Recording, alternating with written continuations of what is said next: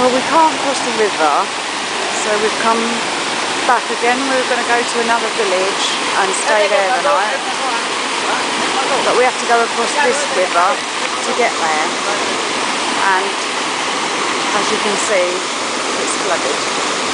So we're just seeing where the edge of the bridge is to see if we can get across it. You can't see where the edge of the bridge is. Very